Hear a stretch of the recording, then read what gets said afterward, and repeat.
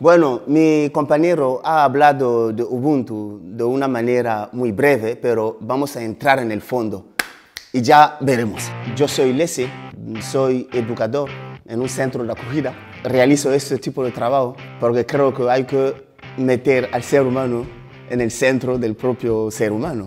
Sí, actualmente soy español porque tengo la nacionalidad española, pero en realidad eh, mis orígenes son, lo he dicho mal, orígenes hay, que borrar eso, ¿eh? por favor. Vengo del Congo Brazzaville, es un país que está en el centro de África. Mirar, por favor, el mapa, vais a ver. Cuando yo llegué aquí en Andalucía, lo que más me sorprendió, la manera en la que se vive aquí. Eh, la vida nocturna, la gente hasta la noche está en la calle, comen, viven, bailan, eso es fenomenal. Y luego los prejuicios, porque la gente me preguntaba si hay tele en mi país, eh, si hay coche, o si no siempre hay serpiente debajo de la cama, elefante detrás de mi casa, tela. Y también me sorprendió al no ver un africano, digamos negro, de mi color, trabajando en un supermercado, en el corte inglés, eh, en el campo, nada, ni un chofer africano.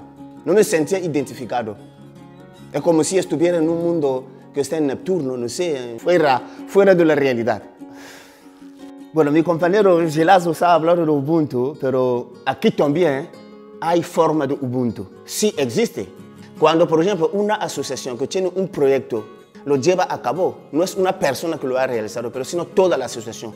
Todas estas personas se han peleado, han... Um, puesto en común su saber, su tiempo, su voluntad para lograr el objetivo. Eso sí lo podemos llamar Ubuntu. Si yo existo, tú existes. Un equipo de fútbol, por ejemplo, claro, realizan el Ubuntu. Hay tiki-taka, tiki-taka. Bueno, chicos, sabemos que tenemos una crisis encima, pero tampoco es el fin del mundo, porque es algo que llega, algo que se va. Siempre se repetirá. ¿Cómo aplicar el Ubuntu ante la crisis? Si yo estoy realizando algo, lo estoy realizando contigo.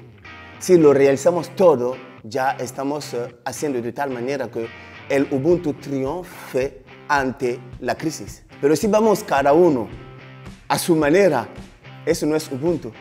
Y es un poco difícil, ya lo sabéis vosotros mismos. Fue una inglesa que organizó un, como una carrera a chicos africanos prometiendo el caramelo, el que iba a llegar el primero. Pero todos los chicos se juntaron, se tenían la mano y Currieron todo hasta llegar al punto. La mujer le preguntó, pero ¿por qué habíais, habíais seguido todo juntos?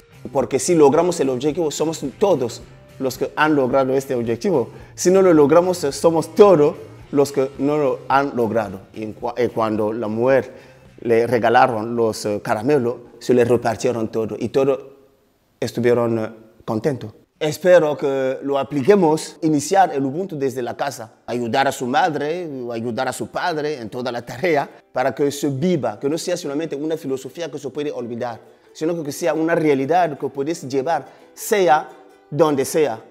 Sería mejor, creo. Pero vosotros juzgáis. Me parece que es una buena, una buena realidad. Muchísimas gracias, ¿eh? Un aplauso para vosotros.